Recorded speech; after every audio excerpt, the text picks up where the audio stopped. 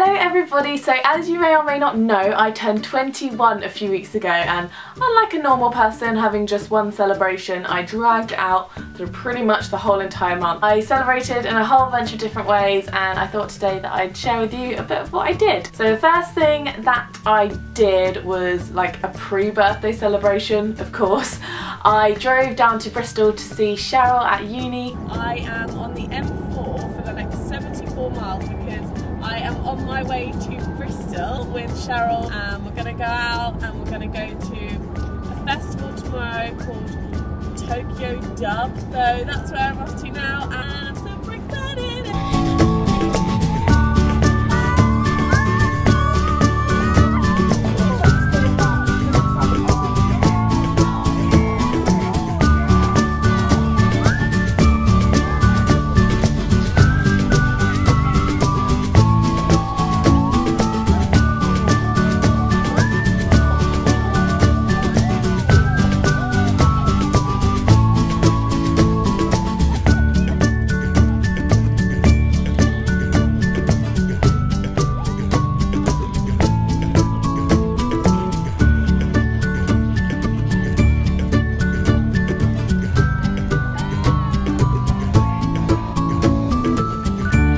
my first ever festival so I was really excited however it was a drum and bass festival.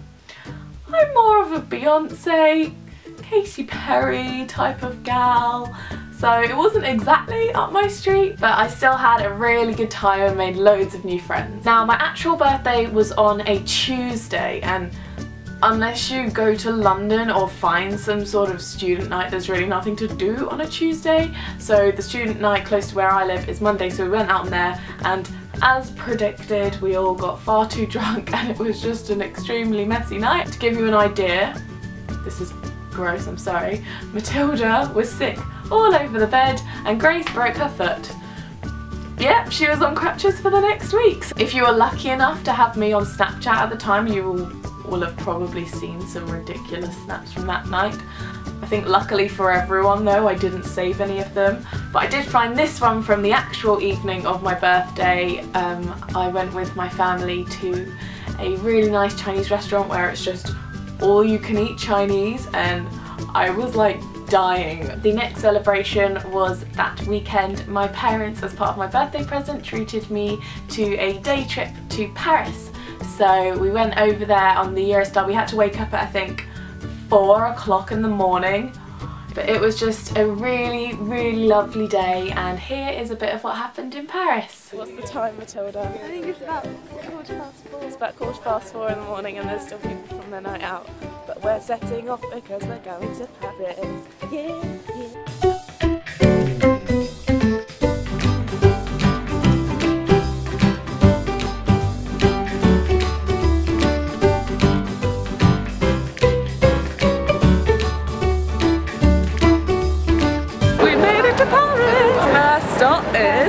The Eiffel Tower.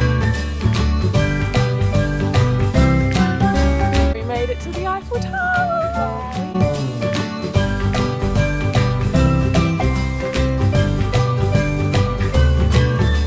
Do an impression of Mickey. Mickey! Um.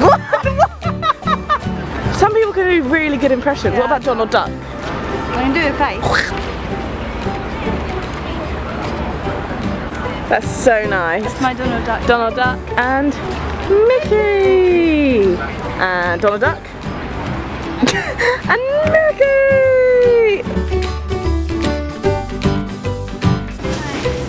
Cassie.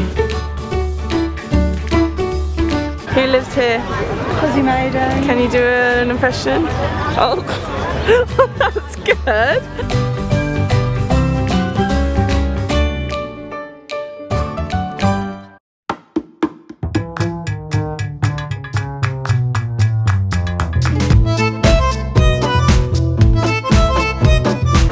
Do you think of La Louvre? I think it's lovely.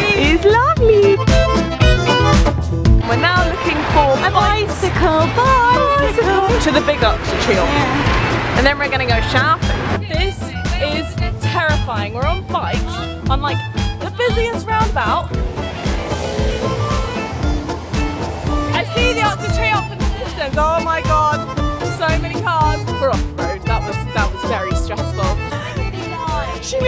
died. I nearly died.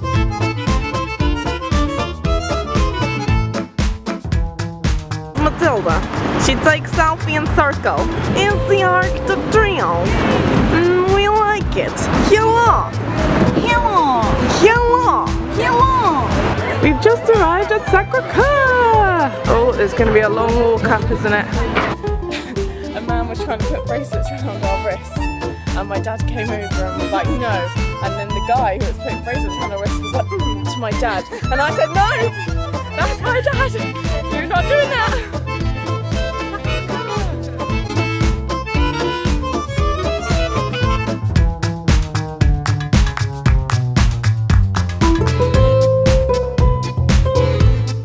Oh my gosh, you can really see how tired I am in my eyes now. It's now 5.30 and after Sacre-Cœur we went to Montmartre, which is sort of the area around Sacre-Cœur and everyone was doing paintings of and like little sketches and and little like sketches and paintings of everyone and they're amazing. I'd so get on to it and if I was here for more than about 10 minutes but we've got to go soon. Again I cannot believe that it has only been one day and now we are going back home. Say au revoir to France. Bonsoir. We had such a good day and the next video I'm assuming is going to be basically Matilda and Grace have organised me a surprise for my birthday. Again, dragging out the celebrations of course. It's in a couple of weeks time and honestly I've got no idea what it is. I've asked for clues and they've told me that Grace is dreading it apparently and she hates all extreme sports so I'm guessing it's going to be something crazy like that. But they also said that it's really weird. So the top of my list I think Zorbing but maybe I've got no idea what it is. They are giving nothing away and I've never been surprised before so I'm quite excited but I am quite apprehensive. But uh, yeah I'm guessing that's what next week's video is going to be on depending on whatever the activity is and if we can film I don't know. But again whatever next time's video will be I will see you then. Bye